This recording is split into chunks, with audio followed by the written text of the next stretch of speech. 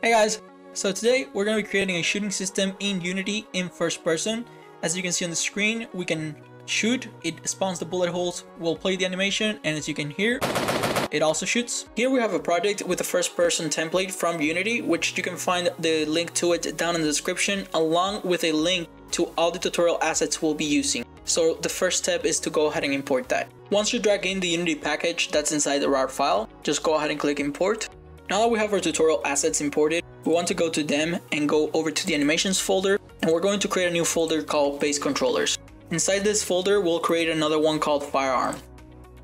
And inside this one, we want to go ahead and create a new animator controller, which we're going to call firearm-base. Then we want to create a new animation clip, which we're going to be calling idle, duplicate it, and call it shoot. Open up the firearm base controller, drag in idle, drag in shoot, and then from shoot, we want to make a transition over to idle. Select the transition, and we want to leave the exit time enabled, but this I'm gonna move over here, and I'm just going to like make it shorter. The next step that we need to take is go ahead and create the actual override, which we're going to go to the AK folder, right click, and we're going to go over to animation and create an animator override controller. This will call AK. On the controller, we're going to select the firearm base, and you can see that we have the slots here for the animations. For this, we're going to open the AK anims file, then we'll drag the idle animation, and we'll drag the shoot animation. But we want to make sure that the idle is set to be looping, so it doesn't just stop once it ends. So select the AK anims file, over here go to the animation tab, select the idle animation, scroll down and where it says loop time, enable it, and click on apply. We now want to go over here to our scene view and we want to drag in the AK texture prefab over to the main camera.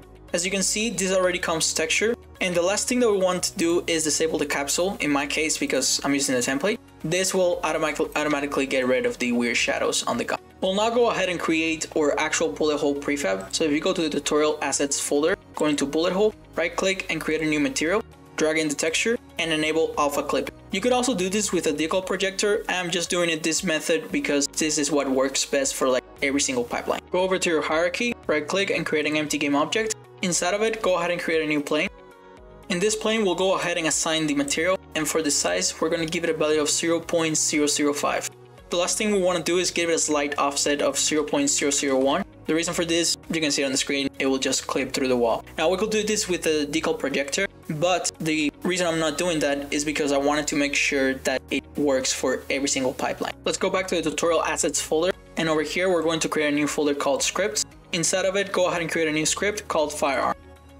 In the firearm script, we're going to go ahead and delete this for now and we want to start by creating our variables. But first, we'll create these sections for it. So go ahead and create three headers called one stats, sounds, and references. The first stat that we want is the private float fire rate, which we're going to give it a default value of 0.09. Then we want another private float called range equals to 500. Then we'll go ahead and create a private boolean called automatic. This will define whether a weapon can shoot semi-automatic or automatic. We'll now create a serialized private layer mask, call it shootable layers. Then create an unserialized private boolean called can shoot, and it is crucial that this is marked to true by default. Under the sound section, we only need a private audio clip called shoot sound. And under our references, we'll first need a private animator called anim. Then create a transform called shoot point. Then create a private game object, call it bullet hole prefab. Next, we want to go ahead and create three new functions. The first one will be called update. The second one will be a private void called shoot.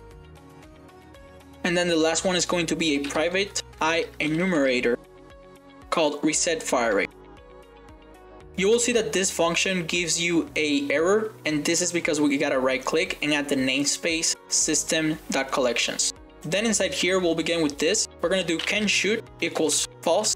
Then we're gonna do yield return new wait for seconds. And inside the parentheses, we're going to pass our fire rate. Then when this has passed, we're going to say can shoot to be true. Over on the shoot function, we're going to first check if we can shoot. So if it's not can shoot, then we want to return. We now want to do a raycast hit, so we're going to do if physics.raycast and inside the parentheses, we're going to pass shoot point.position as the origin. Then we'll pass shoot point.forward. This will be our direction. Then we'll do comma out raycast hit hit. comma, then we'll pass the range, the shootable layers, and finally, we're going to tell it query trigger interaction dot ignore. Basically, this is saying that we cannot shoot objects that are triggered. That is an object that we can just go completely through and has no collision.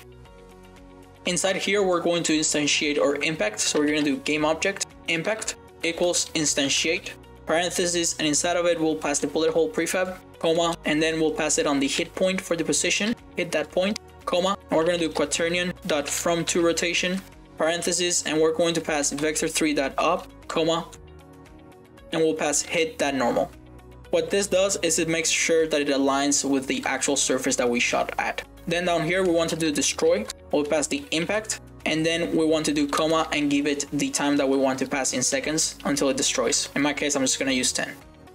We then want to reset our fire rate, so we're gonna do start coroutine, parentheses, and quotes, and inside the quotes, we'll pass the exact name that we use in our enumerator.